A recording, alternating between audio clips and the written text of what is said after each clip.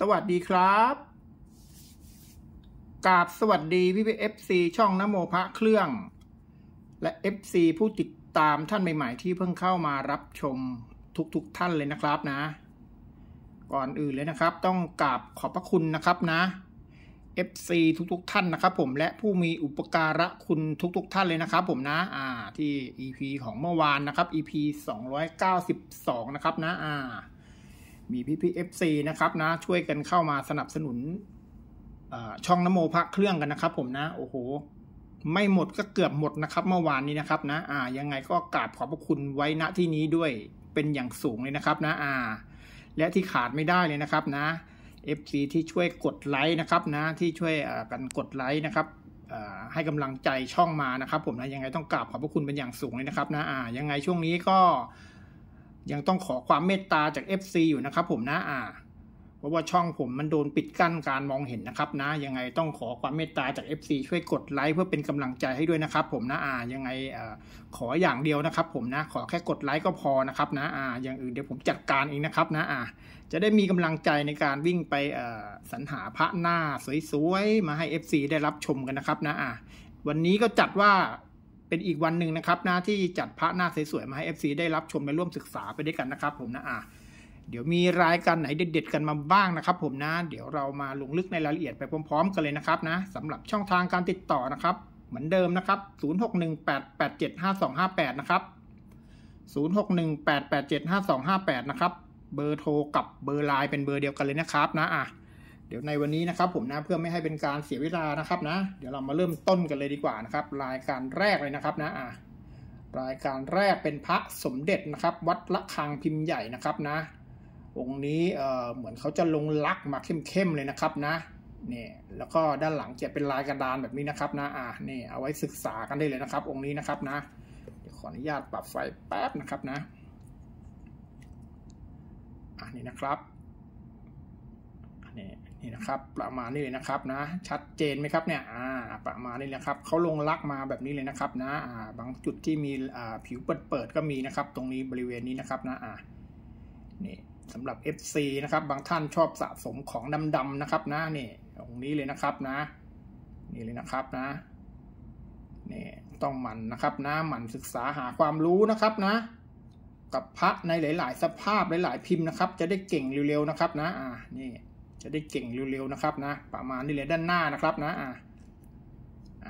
ด้านหลังนะครับ เป็นลายกระดานแนวนอนแบบนี้เลยนะครับนะนี่นี่นะครับนะ เนื้อนี่ฉ่ำๆมากเห็นไหมครับเนี่ยผิวที่เปิดยังเห็นเม็ดมวลสารแดงๆติดอยู่เลยนะครับนะอะนี่ประมาณนี้เลยนะครับ หลังลายกระดานสวยๆเลยนะครับนะอะผมใส่พร้อมตลับมาให้เลยนะครับนะ FC ถูกใจกันมากนะครับเมื่อวานปิดกันไปเกลี้ยงเลยนะครับนะเกือบน่าจะเกือบหมดนะครับนะ สมเด็จนะครับนะอะไม่เหลือสักองค์เลยมั้งที่ผมดูอยู่เมื่อวานไม่มีสักองค์เลยเหลือนะอะเอาเนี้ยแบ่งปันไปหนึ่งพันบาทนะครับนะอะราคาเบาๆเนาะอะ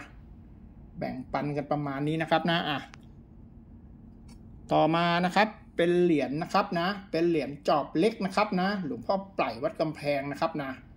อันนี้เป็นพิมพ์หายากพิมพ์หนึ่งเลยนะครับนะไม่ค่อยได้พบเจอนะครับนะอ่าเดี๋ยวมาชมกันเลยนะครับ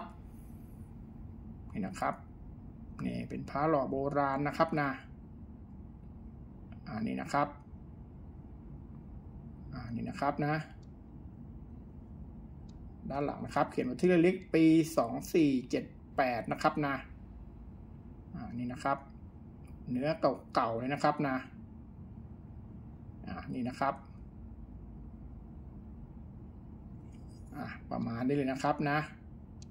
เป็นเหรียญจอบเล็กๆเลยนะครับนะ เหมาะสำหรับเอาไปเลี่ยมทองนะครับนี่ประมาณนี้นะครับไซส์เล็ก ๆ นะครับนะอ่าเอาแบ่งปันไปหนึ่งพันสามร้อยบาทนะครับนะอ่าต่อมานะครับเป็นเหรียญหลวงพ่อธรรมจักรวัดเขาธรรมมูลนะครับนะ นี่เลยนะครับเออองค์นี้เหมือนจะเป็นขอบข้างเลื่อยหรือเปล่านะผมก็ไม่ได้สังเกตนะครับองค์นี้นะครับนะ อ่าเดี๋ยวมาตีกล้องให้ชมชัดๆนะครับนะองนี้พิมพ์มีความคมชัดเจนมากนะครับนะ นี่นะครับนะเห็นดอกจันไม่ตรงฝ่ามือชัดเจนหน้าตาคมชัดนะครับนะอันนี้เลยนะครับอ่าเนี่ยประมาณนี้ครับผิวมีความเก่ามากเลยนะครับนะนี่ประมาณนี้เลยนะครับนะ อันนี้เหมือนจะเป็นบล็อกข้างเลยหรือเปล่าเนี่ย ผมว่าน่าจะเป็นข้างเลื่อยนะเนี่ยอะเนี่ยเป็นขยักขยักแบบนี้นะครับนะอะเดี๋ยวชมอีกด้านหนึ่งสิเออคล้ายๆกันเลยนะครับนะ แต่สภาพเขาผ่านการใช้งานมานะครับนะ อ่านี่เลยนะครับ ดูด้านหลังเลยนะครับนะ อ่านี่ประมาณนี้เลยนะครับ อ่าเนี่ยประมาณนี้เลยนะครับนะ เป็นเหรียญหูเชื่อมเก่าๆนะครับ สภาพผ่านการใช้งานมานะอ่าประมาณนี้เลยนะครับนะอ่าเอาแบ่งปันไปหนึ่งพันสี่ร้อยบาทนะครับนะอ่าเนื้อนี้ประมาณนี้เลยนะครับนะ ต่อมานะครับ เป็นหลวงพ่อปานนะครับนะ หลวงพ่อปานทรงไก่นะครับนะ เนี่ยผมเอาลองใส่ตลับจิวเวลรี่นะครับ โอ้โห ดูโดดเด่นขึ้นเยอะเลยนะครับนะ อะ นี่ประมาณนี้เลยนะครับนะ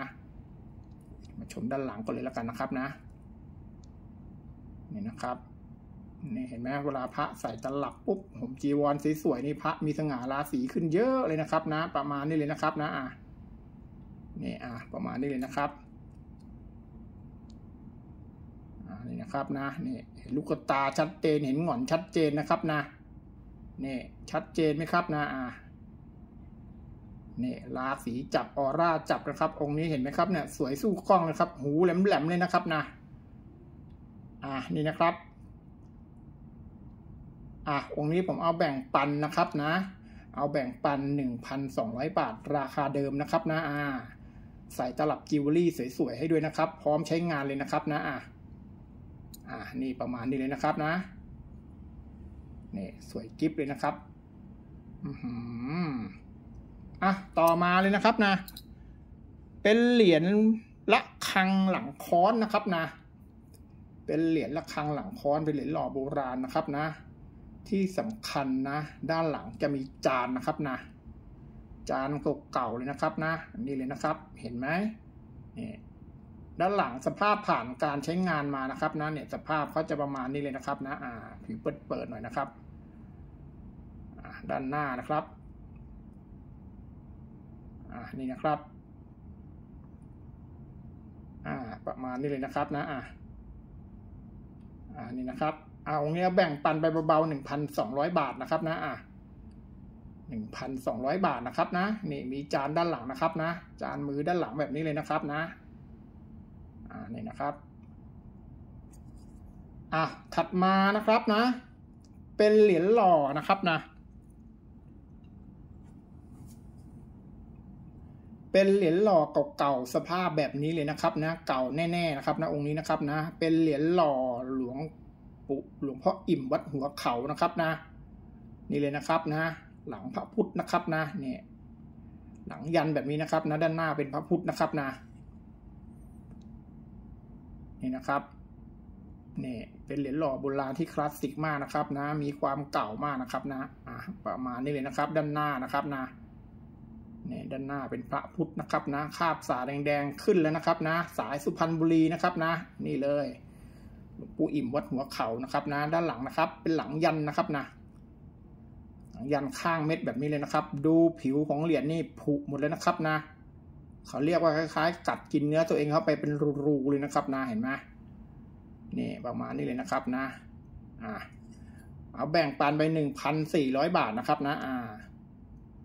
นี่เหรียญเก่าๆคลาสสิกเลยนะครับ ปีสองสี่กว่าๆนะครับนะเหรียญยุคนี้จะประมาณปีสองสี่หกหกสิบเจ็ดสิบแปดสิบไม่เกินนั้นนะครับนะเนี่ยดูยุครู้เลยนะครับนะประมาณนี้เลยนะครับ ต่อมานะครับเป็นพระสมเด็จนะครับนะ เป็นพระสมเด็จวัดระฆังนะครับ พิมพ์อกครุฑนะครับนะ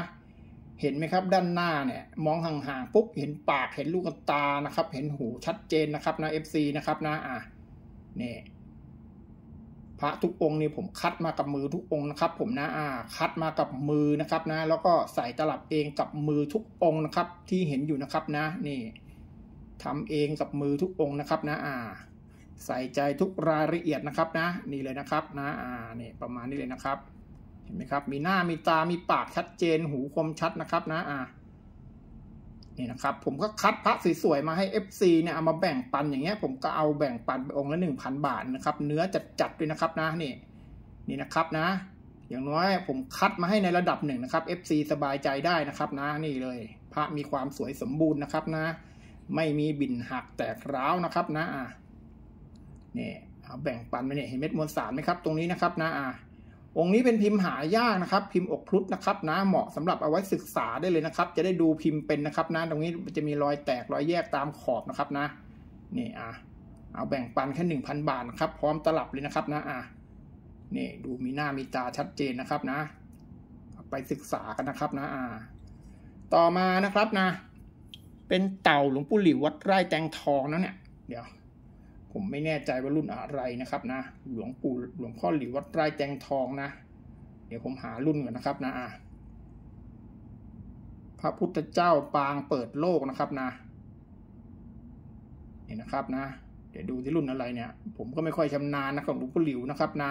เห็นผิวเขามีความเก่านะเขามีกระไหล่เก่าๆเลยนะครับนะ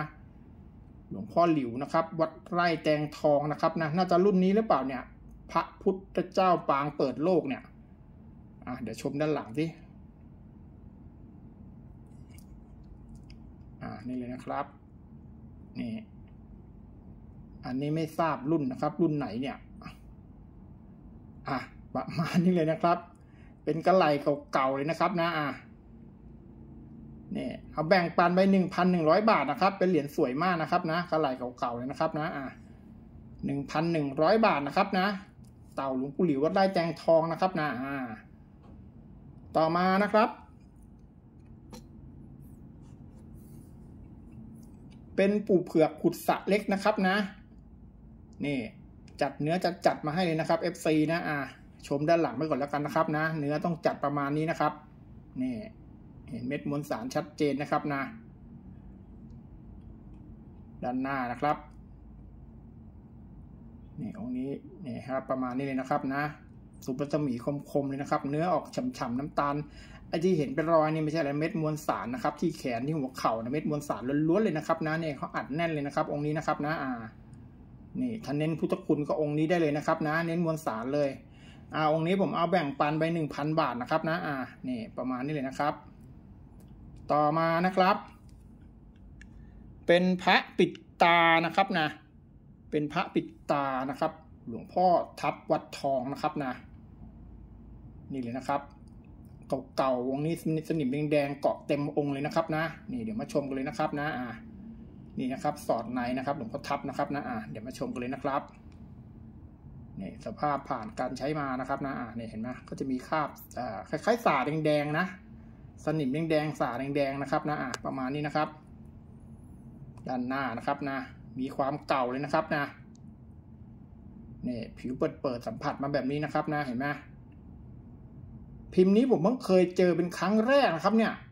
เขาเรียกพิมพ์อะไรนะเนี่ยแต่รู้หลวงพ่อทับวัดทองนะครับนะเนี่ยชัดเจนไหมครับนะนี่นะครับ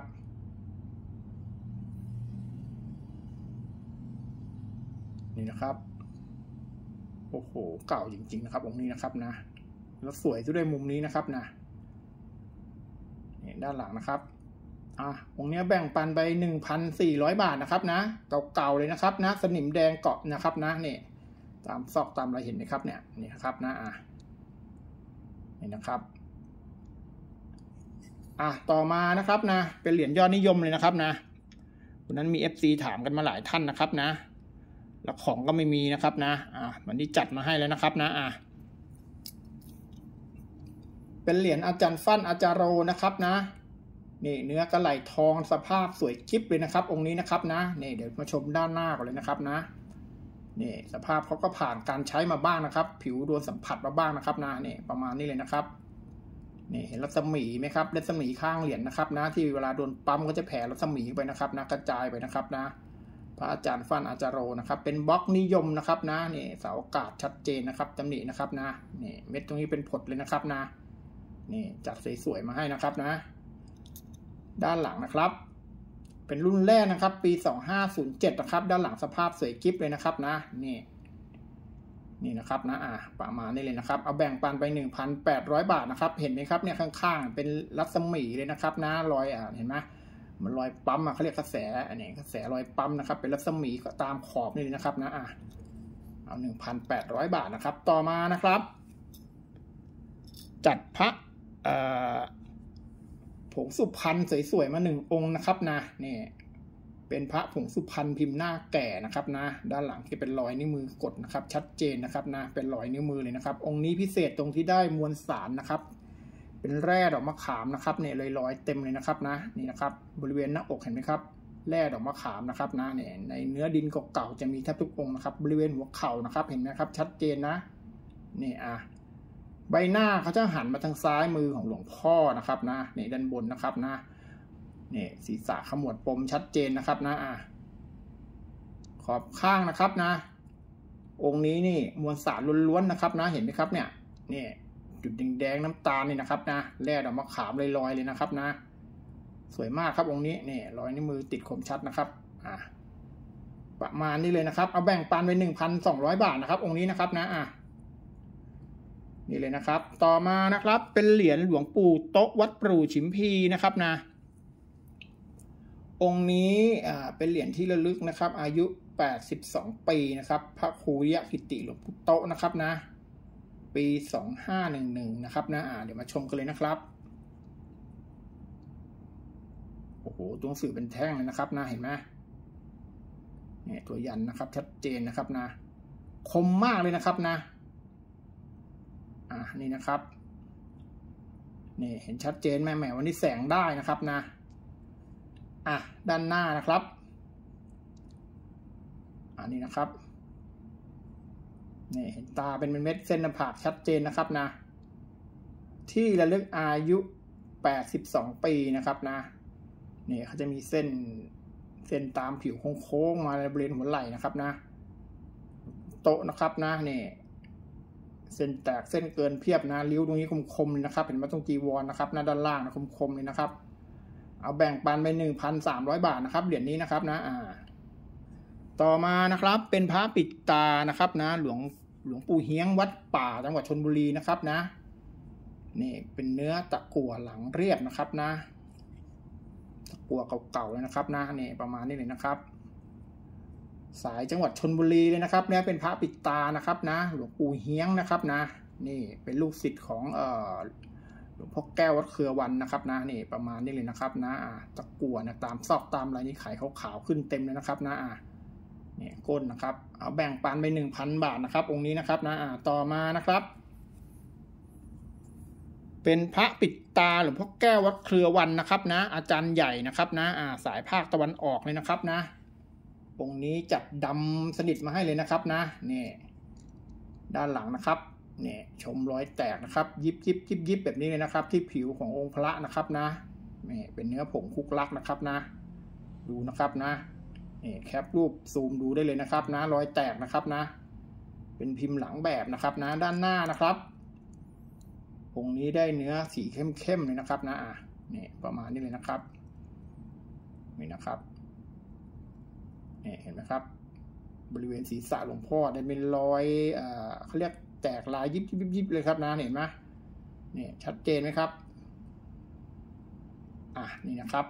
นี่เก่าเลยนะครับนะอะอ่าองค์นี้แบ่งปันไปหนึ่งพันหกร้อยบาทนะครับ พร้อมตลับจิวเวลรี่สวยๆเลยนะครับนะหนึ่งพันหกร้อยบาทพร้อมใช้งานได้เลยนะครับนะอ่าต่อมานะครับ เป็นเหรียญนนะครับนะ เป็นเหรียญหลวงพ่อพรวัดหนองแขมนะครับ ปีสองสี่หกแปดนะครับนะ อ่านี่ประมาณนี้เลยนะครับ เป็นเหรียญกระไหลทองหูเชื่อมนะครับนะ อันนี้เป็นหูเชื่อมแนวขวางนะครับนะ เดี๋ยวเดี๋ยวผมจะแกะให้ดูดีกว่า จะได้เห็นความคลาสสิกนะครับ ดูกระไหลบางๆเก่าๆเลยนะครับนะเห็นไหมเนี่ยตัวหนังสือเนี่ยสมัยก่อนจะเป็นแบบนี้นะครับ คมๆนะครับนะอะด้านหน้านะครับนะเนี่ยดูนะครับ สายกทมนะครับโอ้โหเห็นใต้ตานะเป็นริ้วๆเลยนะครับนะนี่ใต้ตานะครับเห็นไหมครับ ชัดเจนเลยนะครับนะนี่ปีสองสี่หกแปดนะครับนะสายกทมเลยนะครับนะนี่ประมาณนี้นะครับ ปากคมๆจมูกคมๆเลยนะครับนะอ่าเดี๋ยวขออนุญาตแป๊บนึงนะจะให้ดูห่วงหน่อยนะครับนะเดี๋ยวซีไม่รู้เป็นห่วงประเภทไหนนะครับนะอ่านี่เลยนะครับ เป็นห่วงเชื่อมแบบแนวขวางแบบนี้นะครับนะ คลาสสิกไปแบบนะครับนะ นี่เลย นี่นะครับ อะประมาณนี้เลยนะครับอะองค์นี้เอาแบ่งปันไปเท่าไหร่หนึ่งพันเจ็ดร้อยบาทนะครับนะ สภาพสวยกิ๊บเลยนะครับนะ นี่กระไหลเก่าๆเลยนะครับ ถึงยุคเลยนะครับนะอะต่อมานะครับนะ เป็นสิงแกะแบบนี้เลยนะครับนะ เป็นของสะสมเก่าๆของผมเลยนะครับนะ นี่เป็นสิงแกะของแท้นะครับนะ แต่พูดออกอากาศไม่ได้นะครับนะ นี่ นี่เลยนะครับนะอะอะนี่เลยนะครับนี่ผมซื้อมาเพราะความสวยนะครับ องค์นี้นะครับนะอะ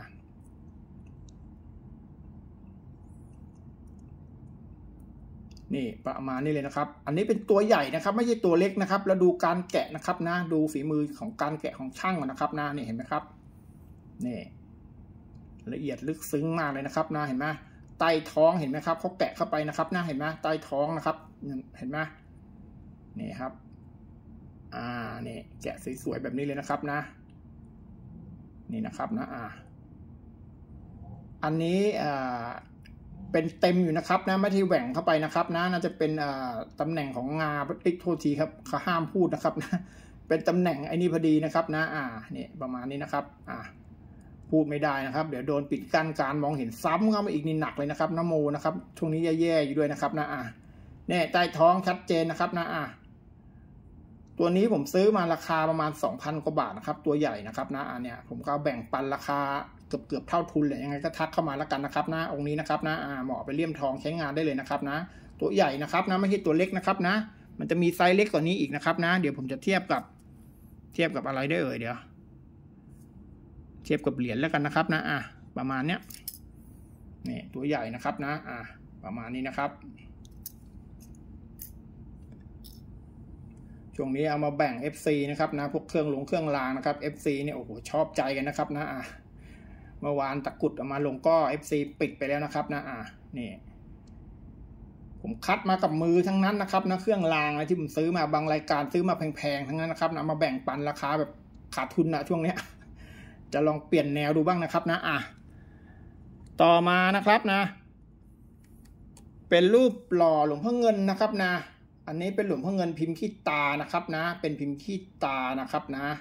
เดี๋ยวให้ดูแป๊บนะครับนะ เป็นพิมพ์ขี้ตาน่าจะเป็นขี้ตาสี่ชายสร้อยสังวานนะครับนะอ่านี่เลยนะครับ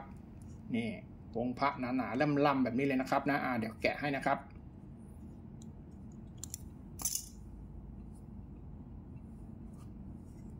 นี่นะครับฟอร์มพระจะหนาหนาล่ำๆคล้าย ๆ กับพิมพ์สังกจายนะครับนะนะครับนะนี่หนาล่ำมากนะครับนะ ด้านหลังนี่เหมือนบาดคว่ำอยู่นะครับนะ เห็นไหมครับเนี่ยตรงนี้เขาจะมีรอยยุบเข้าไปนะครับนะอ่าเนี่ยเป็นเป็นหลวงพ่อเงินพิมพ์ขี้ตานะครับนะขี้ตานะครับอ่าเนี่ยประมาณนี้เลยนะครับสี่ชายสร้อยสังวานนะครับนะอ่าเดี๋ยวมาชมเลยนะครับ เป็นพิมพ์หายากนะครับนานๆจะได้เจอนะครับนะเนี่ยเจอพิมพ์ขี้ตาธรรมดาสิบองค์จะเจออ่า สร้อยสังวานสักหนึ่งองค์นะครับนะนี่เลยนะครับนี่เป็นองค์ดาราในหนังสือนะครับ พิมพ์นี้นะครับนะอ่านี่นะครับนี่นะครับ เนื้อเก่าจัดๆเลยนะครับนะเนี่ยสาแดงๆขึ้นนะครับนะนี่นะครับ เป็นพิมพ์หายากจริง ๆ นะครับนะอ่าไม่ค่อยได้พบเจอนะครับนะ สวยๆนี่ยิ่งหายากเลยนะครับนะ อ่าองค์นี้แบ่งปันไปหนึ่งพันเจ็ดร้อยบาทนะครับนะพร้อมตลับเลยนะครับนะอ่าต่อมานะครับนะ FC ขอไอ้นี่มานะครับนะ วัดเกตชัยโยนะครับนะ ผมก็เลยไปคัดจับพิมพ์เล็กมาให้นะครับ สวยๆนะครับ เนื้อแทบจะออกเน่าๆเลยนะครับองค์นี้นะครับนะอ่าองค์นี้เป็นพระสมเด็จวัดเกตชยโยนะครับ พิมพ์นิยมหกชั้นอกตันนะครับนะ หรือสมัยก่อนเขาเรียกเป็นพิมพ์เล็กนะครับนะอ่านี่เลยนะครับ อ่าเดี๋ยวมาชมกันเลยนะครับนะ เดี๋ยวผมเปิดฝาให้ดูดีกว่านะ ถ้าเป็นพระสมเด็จนะครับนะ FC จะได้เห็นรายละเอียดที่ชัดเจนนะครับนะอแยกแป๊บนะครับ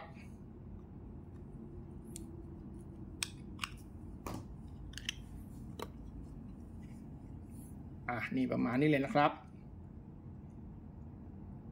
เนี่ยจะได้เห็นรายละเอียดที่ชัดเจนนะครับนะ นี่นะครับ นี่ ปลายฐานแหลมๆเลยนะครับนะไอผมก็ชอบรีวิวซะด้วยดีพระสำเร็จรีวิวนานๆเนี่ยชอบจังนะครับนะอ่านี่ประมาณนี้เลยนะครับ อ่านี่เลยนะครับ องค์พระมีความสวยสมบูรณ์มากเห็นไหมเป็นรอยแตกนะครับนะ แตกลายนะครับ บริเวณซุ้มครอบแก้วนะครับนะเห็นไหมแตกลายแบบนี้เลยนะครับ อ่านี่เลยนะครับนี่ใบหน้าเหมือนผลมะตูมเลยนะครับนะนี่ประมาณนี้เลยนะครับนี่ตรงนี้ลึกเลยนะครับนะอ่า อ่าพลิกมาชมที่ด้านหลังนะครับอ่านี่นะครับนี่ด้านหลังนะออกสไตล์คล้ายๆ จะเน่าไม่เน่าเลยนะครับนะอ่าเนี่ยประมาณนี้นะครับนี่ผิวเก่าๆนะครับ ด้านหลังนะครับนะอ่านี่นะครับ องค์นี้คัดเก่าพิเศษมาเลยนะครับนะอ่าเอาไปหนึ่งพันห้าร้อยบาทนะครับนะอ่าคัดสวยๆมาเลยนะครับ พร้อมตลับจิวเวลรี่นะครับนะอ่าต่อมานะครับ เป็นพระสมเด็จนะครับนะ ชุดนี้เป็นพระสมเด็จองค์ครูนะครับ ผมที่ผมใช้เอ่อเอาไว้ศึกษาสมเด็จวัดระฆังเลยนะครับนะอ่าส่วนใหญ่ผมจะใส่ตลับแบบนี้ไว้เลยนะครับแทบทุกองค์นะครับนะอ่าผมคัดเองกับมือนะครับเอาไว้ศึกษาด้วยนะครับเมื่อวานอ่า FC ก็โทรมาคุยด้วยนะครับเขาบอกโอ้โหทุกองค์สวยๆทั้งนั้นเลยนี่แหละคือผมคัดมาดูนะครับนะส่วนใหญ่จะเป็นองค์อ่าเป็นพิมพ์องค์ดาราในหนังสือเลยนะครับนะที่ลงในหนังสือนะครับ เนี่ย FC ดูเอาแล้วกันนะครับนะอ่าเนี่ยประมาณนี้นะครับ เนี่ยเขาเป็นธรรมชาติความเก่าของเขานะครับ เห็นไหมรอยแตกนะครับนะ รอยแตกร้าวนะครับนะเห็นไหมบริเวณหัวเข่าบริเวณเอวบริเวณหน้าอกนะครับนะนี่เห็นไหมครับนี่ตามซุ้มครอบแก้วนะครับ มีความเก่านะครับนะมีรักบางๆนะครับนะคล้ายๆคราบบางๆนะครับนะสมัยก่อนเขาว่ากันว่าจะมีคราบน้ำว่านด้วยนะครับนะ อันนี้ข้อมูลจริง ๆ เลยนะครับนะอ่า นี่ประมาณนี้เขาอาบน้ำว่านก่อนนะครับนะ เนี่ยประมาณนี้นะครับ อ่าเห็นไหมครับ เนี่ยบริเวณเนี้ยขาซ้ายเนี่ยจะจะเทินขึ้นมาเห็นไหมครับนะชัดเจนนะครับนะ เป็นปมขึ้นมาเลยนะครับนะอ่าและที่สำคัญตรงเนี้ยพยายามศึกษานะครับ FC นะครับนะ ผมจะบอกเลยนะครับนะเซียนเบอร์ใหญ่ๆรู้ไหมครับเนี่ยเขาสอนอะไรอะ เดี๋ยวขออนุญาตแป๊บนะครับนะ ผมก็เอามาแนะนำพี่พี่ FC กันต่ออีกทีแล้วกันนะครับนะอะ นี่เซียนเบอร์ใหญ่ๆเขาบอกนะครับนะ ก่อนจะศึกษาพระสมเด็จนะครับ เขาศึกษาแค่ตรงเนี้ยเนี่ยพระสมเด็จพระคังเขาศึกษาเป็นปีนะครับนะ เฉพาะตรงเนี้ยเขาบอกว่าเวลาเขาแตกฉานปุ๊บเขาจะค่อยๆขยับขึ้นไปศึกษาทีละนิดทีละนิดครับนะ ประมาณนี้ครับนะอ่าเนี่ยนี่เลยนะครับ ตรงนี้เขาจะเป็นร่องๆนะครับนะมันจะเป็นร่องเป็นคลองอยู่นะครับนะ ช่วงตรงนี้นะครับนะ สังเกตให้ดีนะครับบริเวณกลางฐานชั้นแรกนะครับนะอะผมก็ไว้ศึกษาเนี่ยครับนี่ เจอก็พยายามส่อง แล้วก็บริเวณใต้ฐานในอย่างลึกนะครับ เห็นไหมครับเนี่ยใต้ฐานชั้นแรกนะครับนะลึกมากเห็นไหมเงาเนี่ยเห็นไหมลึกเลยแล้วครับนะอะเนี่ยประมาณนี้นะครับอะค่อยๆศึกษากันไปแล้วกันนะครับนะอะเนี่ยอ่าผมก็ใช้เป็นเอาไว้ศึกษาพิมพ์พระเลยนะครับเนี่ยองค์นี้ด้วยนะครับนะเนี่ยอ่าพอเราศึกษาได้ในระดับหนึ่งก็เอามาแบ่งปันให้ FC นะครับ มาศึกษากันต่อนะครับนะอ่านี่ประมาณนี้เลยนะครับนะ นี่ด้านหลังนะครับ สังเกตวัดระฆังนะครับ ตามขอบเขาจะมีรอยปิรอยแยกทุกองค์นะครับ ต้องมีทุกองค์นะครับนะนี่จะมากจะน้อยนะครับนะนี่ประมาณนี้เลยนะครับนะอ่าเห็นไหมนี่เห็นไหมก็จะมีรอยปีรอยแยกนะครับนะนี่นี่ประมาณนี้เลยนะครับนี่เห็นไหมก้อนมวลสารนะครับเนี่ยก้อนมันเริ่มเลยนะครับ ก้อนนี้นะครับนะอะนี่เห็นไหมก้อนมวลสารนะครับนะนี่มวลสารนะครับนี่ประมาณนี้เลยนะครับนะอะ การศึกษาพระสมเด็จดีครับนะ เบอร์ใหญ่ๆเขาบอกว่าต้องใจเย็นๆนะครับ แล้วต้องใช้เวลานะครับนะอะนี่เซียนเบอร์ใหญ่ ๆ นะครับนะ ตั้งแต่เริ่มศึกษามาเลยเนี่ยกว่าจะแตกฉานนะครับนะอ่ากว่าจะกล้าซื้อนะครับ กว่าจะกล้าเช่าพระสมเด็จราคาแพงๆได้เนี่ยรู้ไหมครับ ต้องใช้เวลากี่ปีสิบปีเป็นยังต่ำนะครับนะ ไม่ใช่คุณจะศึกษาปีสองปี แล้วคุณจะไปเช่าพระหลักล้านเลยไม่ได้นะครับนะอ่า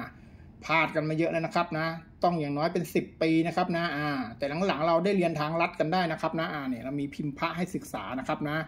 ศึกษาเนื้อศึกษาพิมพ์นะครับ ศึกษาพระในหลาย ๆ สภาพนะครับนะ แล้วก็หมั่นพัฒนาตัวเองอยู่ตลอดเวลานะครับนะอะประมาณนี้นะครับ เอาแบ่งปันไป 1,500 บาทนะครับนะอะเป็นพระที่ผมคัดมาเองกับมือทุกองค์นะครับนะ ที่ใส่ตลับปิวเวอรี่นะครับนะ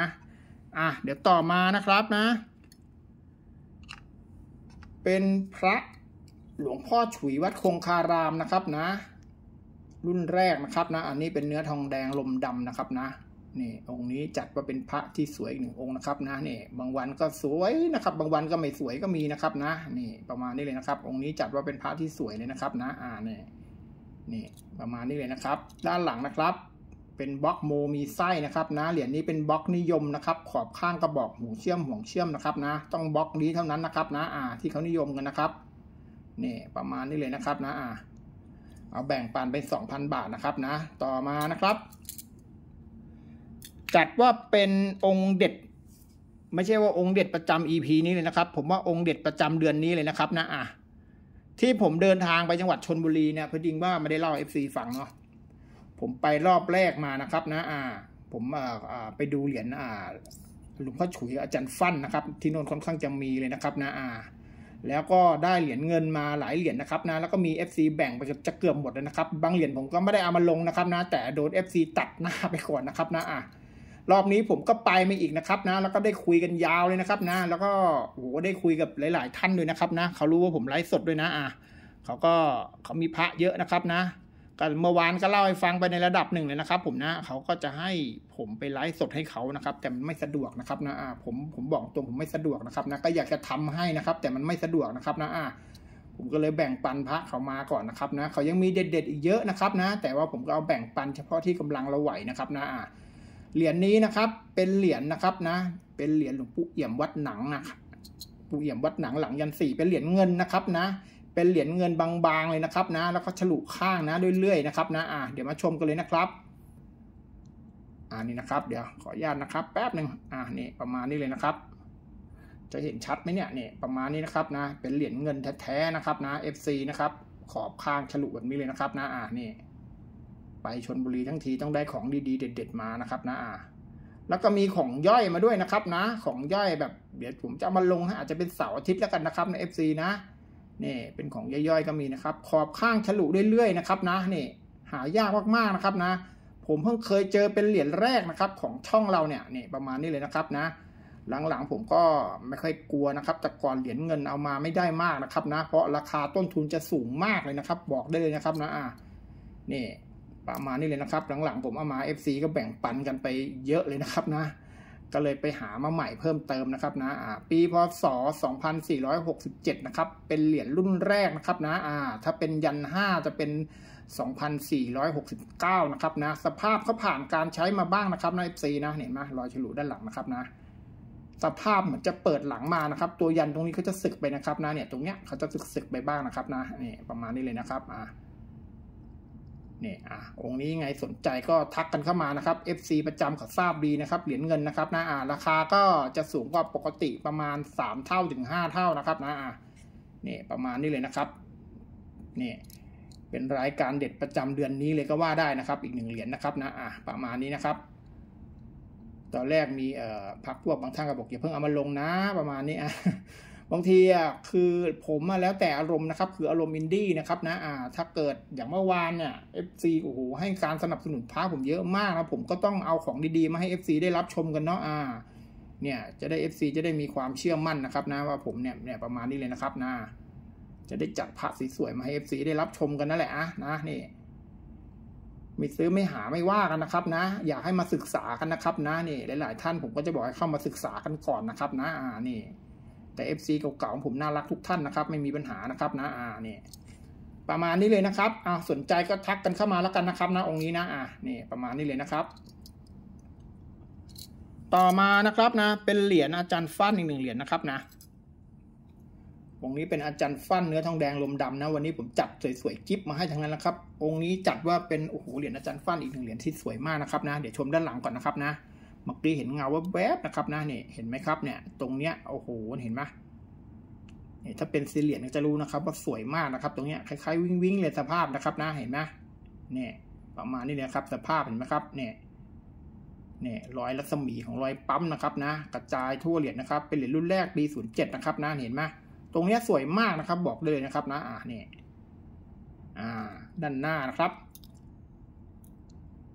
นี่ช่วงนี้ได้มาใหม่ๆ PPFC จะทราบดีนะครับ วันจันทร์กับวันอังคารผมจะ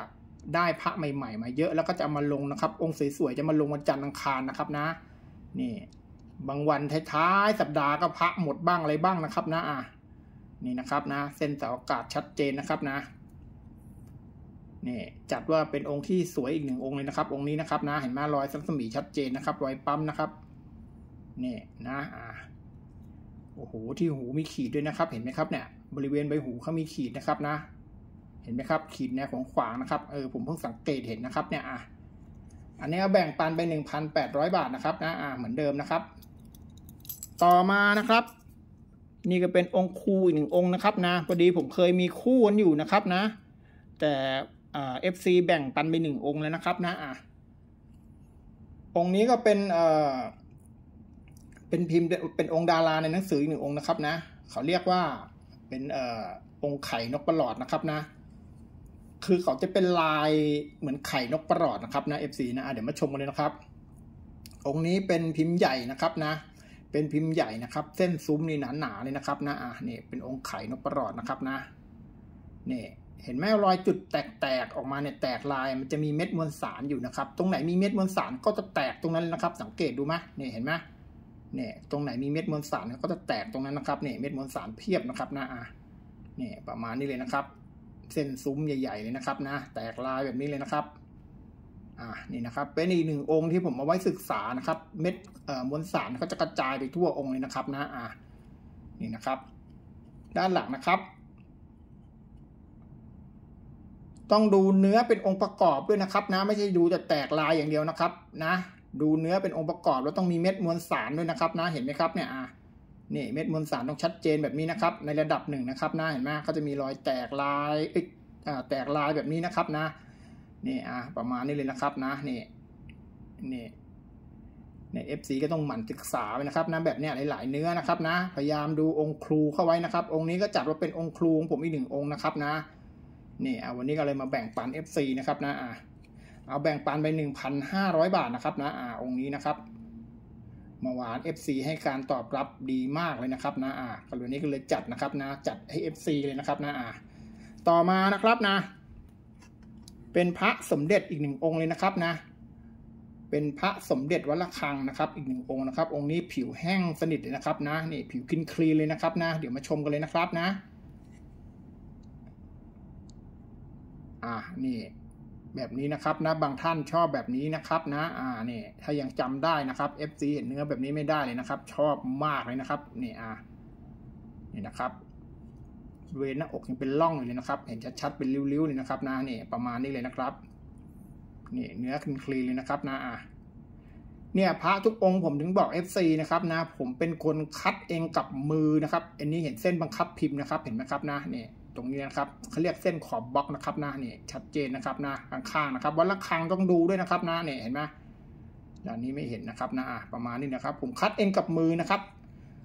คัดเองกับมือทุกองค์นะครับนะนี่ไม่มีหลุดรอดไปแม้แต่องค์เดียวนะครับ ผมคัดเองกับมือทุกองค์แล้วใส่ตลับเนี่ยเองกับมือทุกองค์เหมือนกันนะครับนะอ่านี่คือเรียกว่าใส่ใจในรายละเอียดนะครับนะ ทุกจุดเลยนะครับนะอ่านี่นี่นะครับนะอ่า นี่นะครับนี่ดูเนื้อแห้งๆเขาสไตล์แห้งๆตกเก่าต้องแบบนี้นะครับนะอ่าหลายๆท่านชอบไม่เหมือนกันนะครับนะอ่าประมาณนี้เลยนะครับนะองค์นี้เอาแบ่งปัน 1,200 บาทนะครับนะอ่านี่เลยนะครับอ่าประมาณนี้เลยนะครับ FC สบายใจได้นะครับนะผมต้องบอกพระที่ผมจับใส่ตลับเนี่ยผมคัดเองกับมือจริงนะครับนะอ่าประมาณนี้นะครับนะอ่าราคาขึ้นอยู่กับเนี่ยความเก่าหรือขึ้นอยู่กับต้นทุนที่ผมได้มาด้วยนะครับนะบางทีนะ ผมก็เหมามานะครับ บางทีองค์ราคาประมาณพันห้าสองพันผมก็จะมาแบ่งหนึ่งพันเลยนะครับ FC หลายๆท่านทราบดีนะครับนะผมก็บอกตรงๆนะอ่าอยู่ที่ว่า FC ท่านใดจะปิดก่อนนะครับนะอ่าประมาณนี้เอาหนึ่งพันสองร้อยบาทนะครับ องค์นี้นะครับนะอ่าต่อมานะครับเป็นหลวงปู่ทวดนะครับนะ หลังเตารีดหลังตัวหนังสือนะครับนะ องค์นี้เป็นเอ่อเนี่ยดูจับใส่ตลับจิวเวลรี่ปุ๊บมีสง่าราศีขึ้นเลยนะครับนะอะนี่ อันนี้เป็นพิมพ์เขาเรียกบล็อกหน้าวงเดือนนะครับนะนี่ก็จะเป็นวงเดือนนะครับบริเวณเหนือฐานโบนะครับนะอะประมาณนี้เลยนะครับ นี่นะครับนะหน้าคล้ายอาปาเช่เลยนะครับนะเห็นไหมครับนี่ประมาณนี้เลยนะครับเส้นหน้าผากคมชัดนะครับนะนี่บริเวณไหปลาร้านะครับนะ หัวไหล่ลึกๆเลยนะครับนะอะประมาณนี้เลยนะครับด้านหลังนะครับ เนี่ยตัวหนังสือผมก็ทวดวัดช้างให้นะครับนะประมาณนี้เลยนะครับอ่าองค์นี้อ่าพร้อมตลับจิวเวลรี่มาเลยนะครับนะอะเอาแบ่งปันไปหนึ่งพันสองร้อยบาทนะครับนะอะนี่พร้อมใช้งานเลยครับตลับจิวเวลรี่มาสวยๆเลยนะครับนะอะต่อมานะครับนะ เป็นพระสมเด็จนะครับนะ เป็นเนื้อพิเศษนะครับนะ นี่ก็เป็นพระที่ผมใช้เอ่อ ศึกษาเนื้อนะครับนะขั้นสุดยอดของผมเลยนะครับนะอ่านี่เป็นเอ่อมีพวกแนะนำเข้ามานะครับนะ คือเนื้อแบบนี้คือเป็นเนื้อที่เซียนบนห้างเขาเล่นกันนะครับนะอ่านี่เลยนะครับนี่แต่ผมพูดไม่ได้นะครับนะ เอาเป็นว่าเนื้อแบบนี้นะครับนะอ่านี่แล้วราคาสูงมากนะครับนะอ่านี่นะครับ ที่จริงอะราคาที่ผมเปิดแบ่ง FC เนี่ยยังไม่แพงนะครับนะ ที่ผมไปดูของเขามาในองค์ที่เขาคัดมาสวยๆแบบเนี้ย ราคาสูงกว่าที่ผมแบ่งปัน FC อีกนะครับนะ ผมบอกได้เลยนะครับ ถ้าลำพังพี่พี่ FC ไปผจญภัยกันเองนะ ราคานี้ไม่ได้แน่นอนนะครับนะอ่านี่นี่นะครับนะอ่าเดี๋ยวมาชมกันเลยนะครับนะ องค์นี้เป็นสมเด็จวัดระฆังพิมพ์ใหญ่นะครับ เป็นพิมพ์ทรงพระประธานนะครับนะเนี่ยองค์นี้ผมคัดพิเศษมาให้หนึ่งองค์นะครับนะอ่านี่นี่ก็เป็นพระพิมพ์ขององค์ดาราในหนังสือนะครับนะเห็นไหม จะมีเม็ดมวลสารบริเวณด้านข้างนะครับ หูติดคมชัดนะครับนะองค์นี้นะครับนะนี่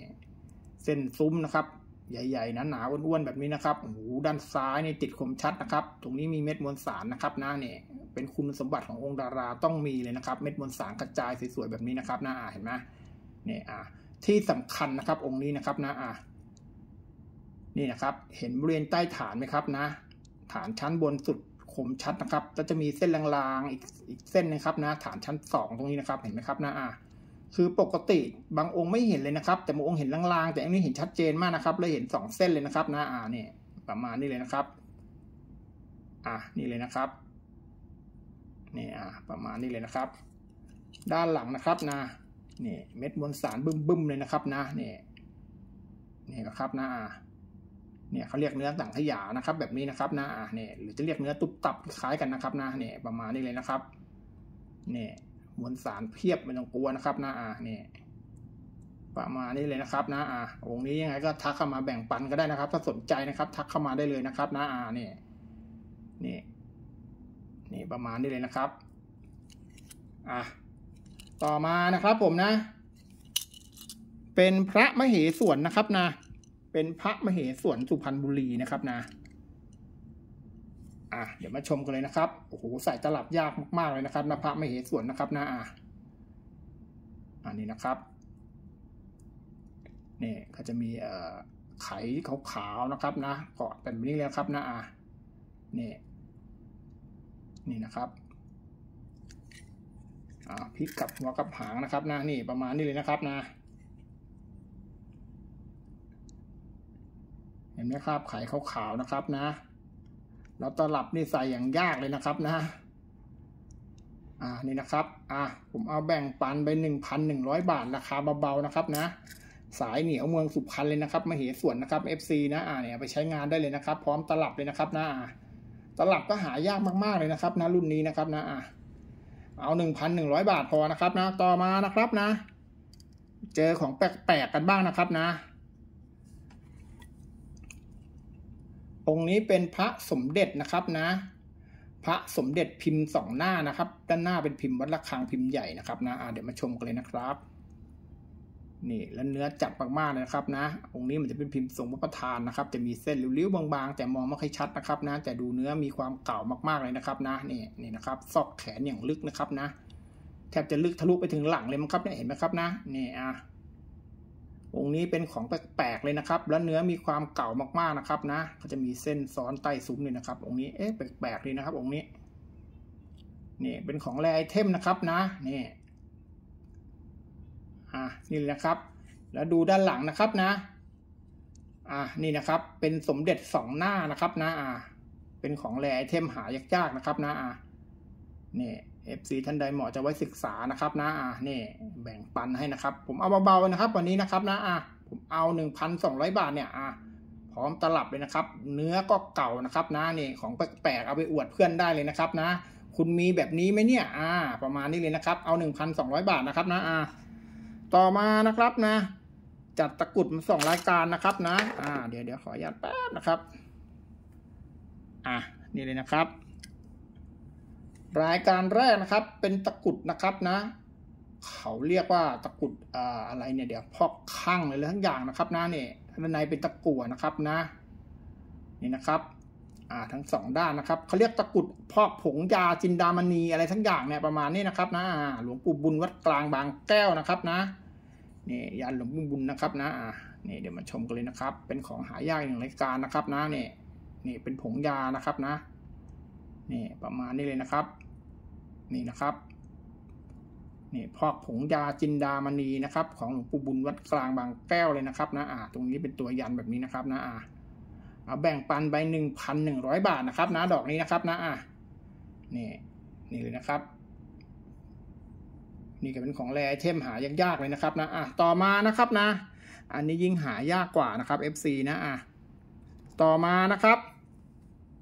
อันนี้เป็นของที่ผมใช้พกติดตัวมานานมากแล้วนะครับนะอะมันจะมีสองดอกดอกสั้นกับดอกยาวนะครับนะอะนี่ เป็นตะกุดนะครับ เป็นตะกุดสามกษัตริย์หลวงพ่อเงินวัดบางคลานนะครับนะนี่ไซส์ประมาณนี้เลยนะครับ อันนี้ประมาณอ่านิ้วครึ่งประมาณถ้าจำไม่ผิดนะครับนะไม่นิ้วครึ่งก็สองนิ้วนะครับนะเอาเดี๋ยวมาชมกันเลยนะครับนะอ่า หลังๆ FC ให้การตอบรับนะครับนะอ่าตะกุดพวกนี้ผมก็เลยมาลงให้แล้วกันนะครับนะอ่านี่ประมาณนี้เลยนะครับ ช่วงนี้ FC มาแบ่งปันเครื่องล้างผมนี่ยังไงก็ได้กำไรนะครับ ไม่ขาดทุนนะครับ ผมเอามาแบ่งราคาแบบ ไม่อยากจะพูดราคาที่เช่ามาเลยนะครับนะอะเนี่ยดอกเนี้ยแต่ก่อนนะครับนะ ตอนที่ผมเก็บใหม่ ๆ นะครับ มี FC มาขอผม ดอกละหกพันผมยังไม่แบ่งเลยนะครับนะ ตอนนั้นยังรักมากนะครับนะเนี่ยประมาณเนี้ยอะนี่วันนี้ผมจะมาแบ่งปันนะครับนะอ่านี่นะครับนะอ่าเป็นดอกที่ใช้ผมใช้พกติดตัวไว้ด้วยนะครับนะ ไปไหนมาไหนพกติดตลอด มันจะมีดอกยาวอีกดอกผมยังหาไม่เจอไม่รู้ไปอยู่ตรงไหนนะครับเนี่ยอ่าอ่านี่เลยนะครับ อันนี้เหมาะสำหรับไว้ใช้พกติดตัวนะครับ คู่กายได้เลยนะครับ เพราะมีลักษณะใหญ่แล้วหนัก แต่อันเนี้ยมันเล็กนะครับ ถ้าองค์ยาวเต็มสูตรเขานี่ยังยาวแล้วหนักมากเลยนะครับนะอ่านี่ประมาณเนี้ยอ่า ครึ่งหนึ่งของอันเนี้ยสองเท่านะครับนะอ่าแล้วมาดูนี่นะครับนะอ่านี่มาดูนี่เลยนะครับนะอ่านี่ดูเชือกที่ถักไว้เนี่ยผุจนแบบเป็นฝุ่นเป็นผงไม่หมดแล้วนะครับนะ นี่ คือดอกเดียวเนี่ยเที่ยวได้ทั่วไทยเลยไม่ต้องกลัวนะครับนะแคล้วคาดคงกระพันชาตีได้เลยนะครับนะอ่านเห็นไหมจุดแดงๆนะครับนะนะนี่เก่าไม่เก่าดูสิเชือกผุไปหมดแล้วครับเนี่ยเป็นฝุ่นเป็นผงเลยนะครับนะอะ วงนี้ก็อะประมาณนี้เลยนะครับนะอะสนใจก็ทักกันเข้ามานะครับ ราคาไม่แรงนะครับ ถ้า FC ท่านเดิมมาก็เอาผมราคาเท่าเมื่อวานนะครับนะอะนี่ยังไงก็ได้กำไรแน่นอนนะครับ ช่วงนี้นะครับนะอะแต่ก่อนผมห้าพันหกพันยังไม่ขายเลยนะครับนะอะประมาณนี้นะครับนะอะอะยังไง EP นี้นะครับผมนะ ก็จัดพักสวยๆมาให้ FC ได้รับชมนะครับนะร่วมศึกษาไปด้วยกันนะครับ วันนี้นะครับนะอ่า ยังไงถ้า